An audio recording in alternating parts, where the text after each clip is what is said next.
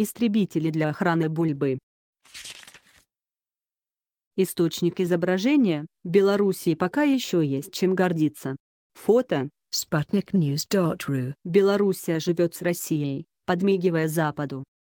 20-летие образования союзного государства Белоруссия отметила отказом от размещения российской военно-воздушной базы в пользу закупки истребителей Су-30СМ. Об этом в телеэфире сообщил секретарь Совета Безопасности РБ Станислав Зась. По его словам, руководство страны стало опираться на собственные возможности. 1 октября глава МИДа Беларуси Владимир Макей высказал мнение, что в размещении на территории республики российской военной базы нет ни практического, ни политического, ни военного смысла. Он отметил, что решение Минска продиктовано национальными интересами и принималось без давления извне. Но если Белоруссия собирается опираться на собственные возможности, то ждать помощи от нее России вряд ли стоит.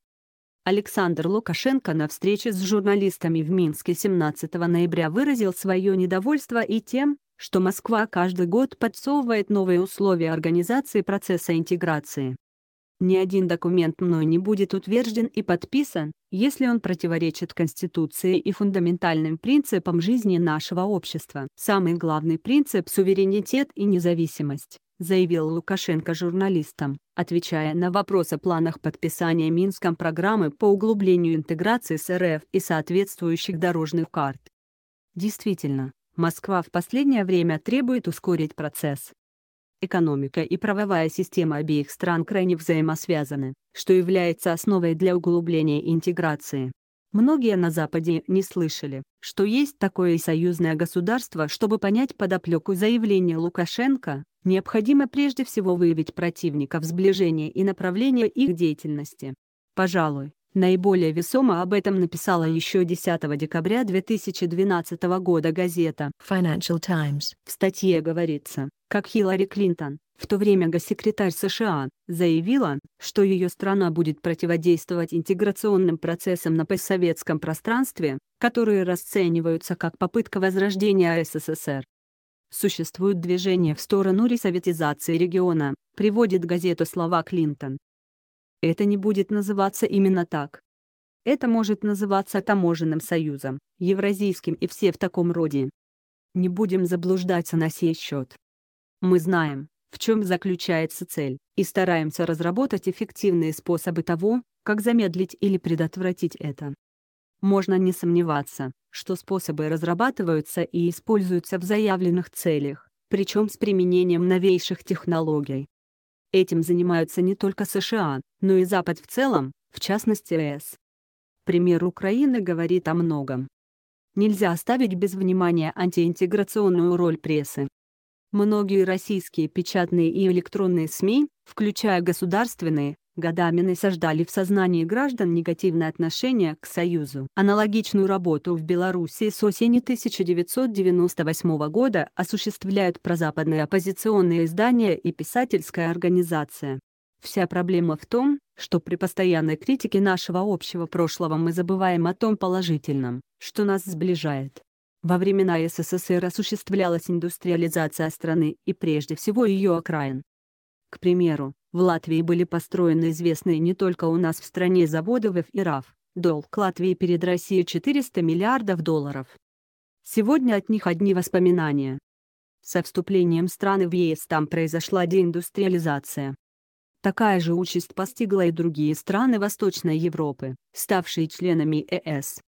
Так, в Польше, Польша любит по расчету, Гдынская и Щецинская верфи уже ушли в историю. Их имущество распродано, около 50 тысяч человек уволены, территория расчищена. Помиловать, нельзя казнить в Еврокомиссии решили только насчет Гданьской верфи, где начинал Лех Валенса. Она получит субсидию с условием продиктованной ей реструктуризации, предусматривающей сокращение каждого пятого из оставшихся двух тысяч, при штате 17 тысяч, сотрудников верфь вынуждена будет запустить новые производства на месте двух из трех существующих стапелей. На одном из них будет клепать башни для ветроэнергетики, на другом стальные конструкции. План реструктуризации дозволяет верфи производить не более 6 судов в год, при возможности на еще существующих мощностях до 30. Вместе с тем, по мнению профсоюзов, закрытие двух стапелей обеспечит оставшихся сотрудников рабочими местами и сделает предприятие нерентабельным, лишь отсрочив гибель последней польской верфи на год-два.